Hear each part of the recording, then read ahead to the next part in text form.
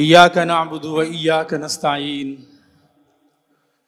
इहदिना सिरातल मुस्तकीम सिरातल लज़ीना अनअमत अलैहिम गैरिल मग़दूबि अलैहिम वलद्दाल्लीन मुअज़्ज़ज़ मोहतरम हाजरीन व हाजरात आज की इस खूबसूरत शाम में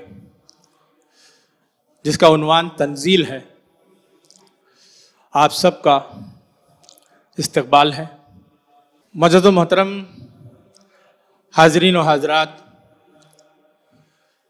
हमारा ये प्रोग्राम तंजील दरअसल दस्तारबंदी का प्रोग्राम है, जिसमें हम हुफ़ाज और हाफिजात की दस्तारबंदी करते हैं। दस्तारबंदी दरअसल एक खूबसूरत रिवायत है, जिसके तहत उन हाफिज़ों और हाफिजात को इस्तबालिया दिया जाता है, एजाज़िया दिया जाता है,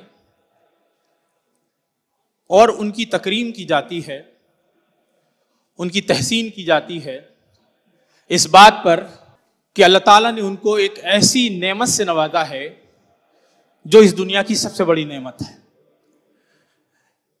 ये दुनिया अल्लाह की नेमतों से भरी हुई है। हर चीज़ अल्लाह की नेमत है। अल्लाह ने इस दुनिया को अपनी रहमतों के साथ आबाद किया है। अगर उसकी रहमत ना हो तो ये कायनात एक मिनट के लिए भी आगे नहीं बढ़ सकती।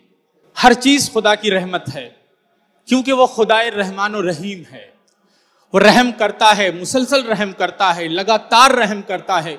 उसकी रहमत है कि इंसान इस कायनात में मौजूद है। वो इंसान को इंसान की ज़रूरत की सारी चीज़ें फराहम करता है, ताकि इंसान ज़िंदा रहे। बल्कि आराम के साथ ज़िंदगी बसर करें। नेमतों की इस दुनिया में, इन अशिया के बीच जो नेमतें हमारे दरमियान मौजूद हैं, इनमें सबसे बड़ी नेमत अल्लाह का कलाम कुरान मजीद है। क्यों? पूरी कायनात के अंदर सारी चीज़ें एक तरफ़ है और खुदा का कलाम एक तरफ़। कायनात अल्लाह का अमल है और कुरान मजीद अल्लाह का कौल है। और इस कदर अजीम है, इस कदर अहम है कि पूरी कायनात मिलकर भी उसका बोझ नहीं उठा सकती। इतना भारी, इतना वजनी कलाम है। इसी बात को अल्लाह तबारक ताला ने कुरान पाक में फरमाया, लो अनजल नाहादल कुरान अला जबल लराइतहु खाशियाम मुतसद्याम मिन खशियतिल्लाह। अगर हम इस कुरान को किसी पहाड़ पे भी नाजिल करते तो वो भी दब जाता, फट जाता पाश पाश हो जाता रेजा रेजा होकर बिखर जाता। ये तो उसका कर्म है कि उसने इंसानों की भलाई के लिए अपने कलाम को अपने नबी मुबारक सल्लल्लाहु मोहम्मद सल्लल्लाहु अलैहि वसल्लम के कल्ब पर नाजिल फरमाया और आसान बना दिया इंसानों के लिए कि इंसान उससे फ़ायदा उठाए।